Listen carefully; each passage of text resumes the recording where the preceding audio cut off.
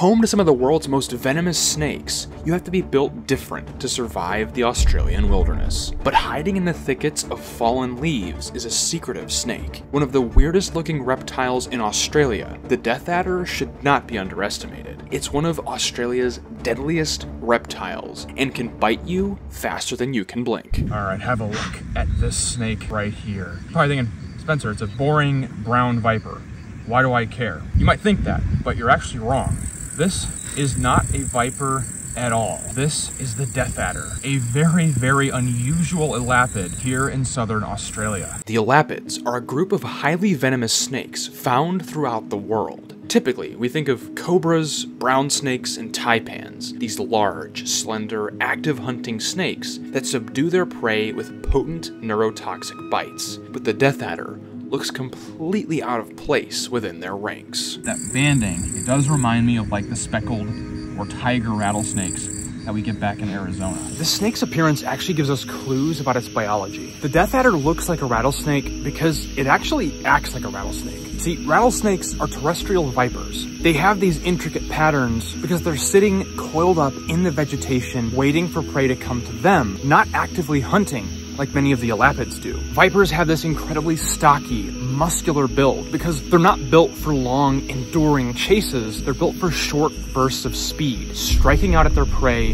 at the perfect opportune moment when that prey is walking by their ambush position. Generally speaking, vipers tend to be more nocturnal, so they have these slit-shaped pupils. In the daylight, it looks like a vertical line, but it actually expands to let in more light after dark. Turns out the Death Adder has this exact same thing. Like in every facet, the Death Adder looks almost exactly like a viper, which is one of the things that makes it one of the weirdest snakes in all of Australia. They're short, stocky snakes with an intricate pattern to obscure their outline when they're wading in the vegetation and leaf litter, and their vertical pupils allow them to see really well in the daylight and in the dead of night. Like the vipers, these snakes are the epitome of patience, waiting for hours, sometimes even days, on popular game trails for little mammals or lizards to walk by.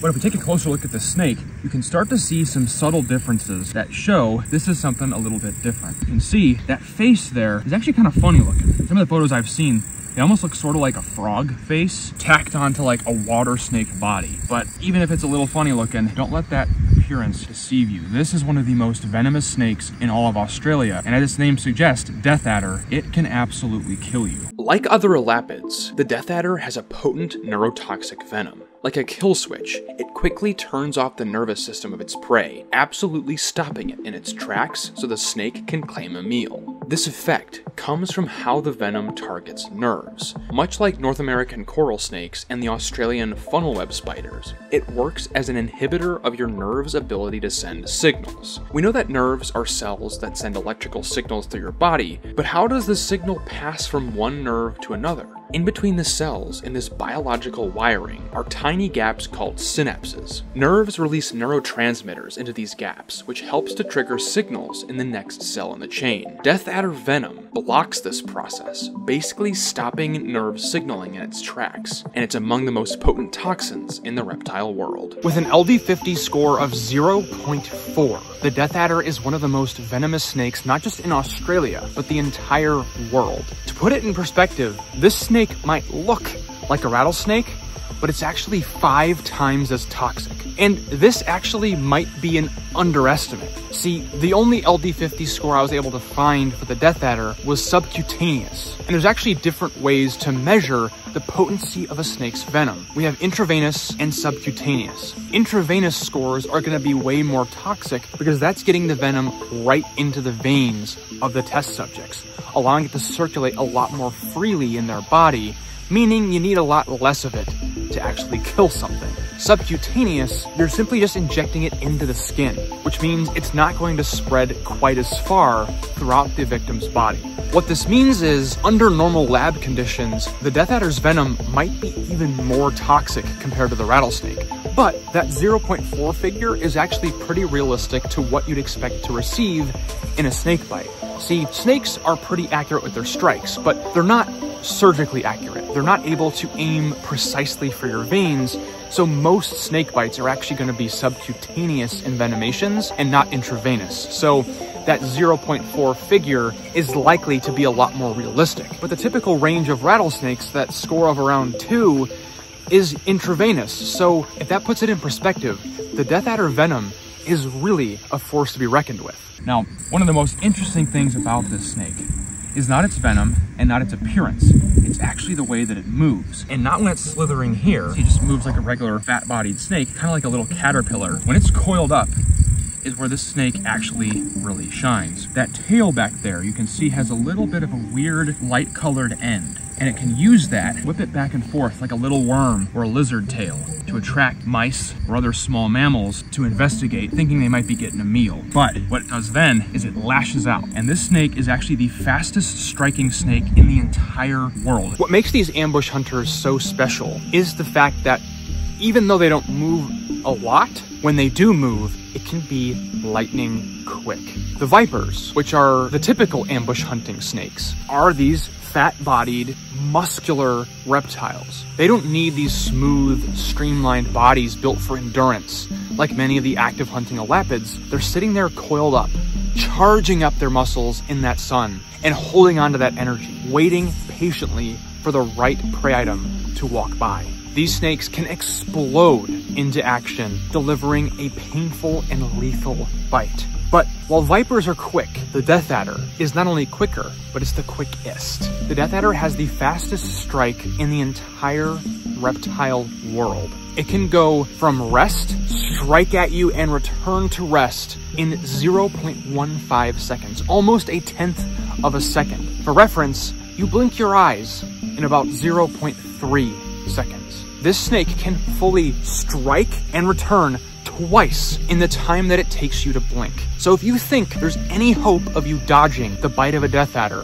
think again. So you better watch for your step when you're in Death Adder country. One of the reasons I'm keeping myself nice and far back here and using only the hook to manipulate the snake is because they are wicked fast. There is zero chance if this snake wanted to bite me that I'd be able to dodge and it could land me a serious neurotoxic bite and instead of being out here looking for cool wildlife, I'd be on my way to the hospital, which is not at all what we want. The nice thing is the Death Adder is an elapid, so it has short fixed fangs in the front of its mouth rather than long hinged fangs that can deliver venom deep into tissue. Where a viper could bite through jeans, a death adder is going to have a hard time getting through your sock.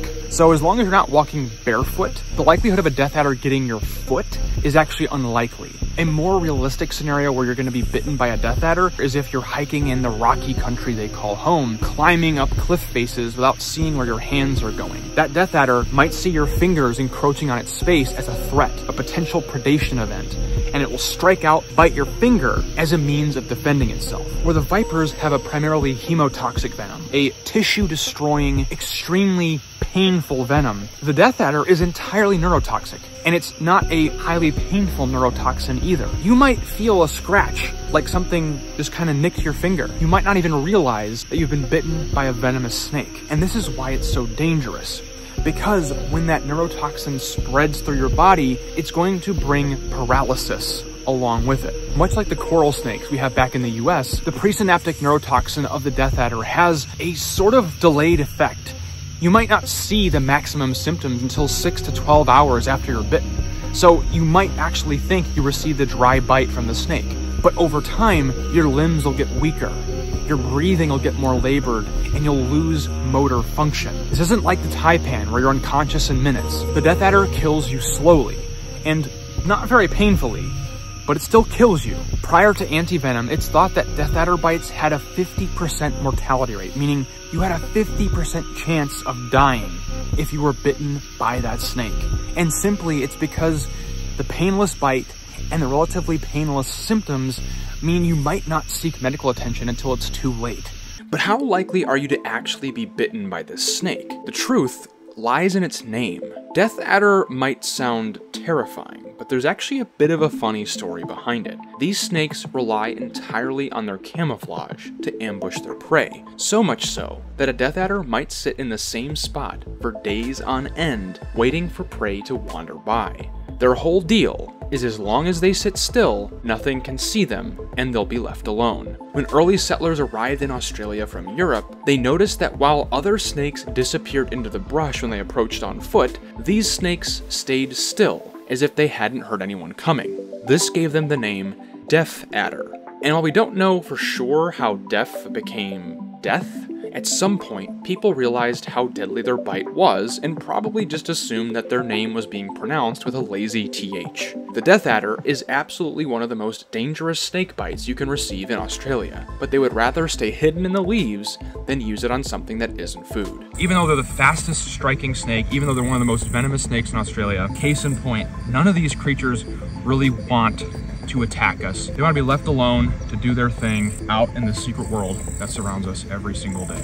That is incredible. One of the few snakes that I'm actually somewhat not afraid to work with in Australia because you can see its movement is very much just like any of the vipers we have. The terrestrial ambush hunter, so its movement is going to be a lot similar to terrestrial ambush hunters that I've worked with back home. They're not as active, they're not as wily as the Eastern Browns or the Taipans. So we're gonna let him go right back off into the night, keep cruising down this road and see what other crazy secrets nighttime in Australia has in store for us. One of the weirdest venomous snakes in the world, the death adder certainly lives up to its name in its capacity to kill, but it's a mild-mannered reptile that keeps to itself. Many of the vipers whose hunting strategy it copied are much more confrontational, and there are harrowing stories about some of the vipers of Central and South America. The Fer-de-lance has not only killed more people than the Death Adder, but it has the highest kill count of any snake in the Western Hemisphere. And according to the locals, if you see this snake, you have to kill it before the sun goes down, or your life will end. If you want to learn more about the incredible Lancehead Viper, and see if it's really cracked up to these myths, check out this video right here. Hope to see you there, but until next time, don't forget to get outside and find your own adventure.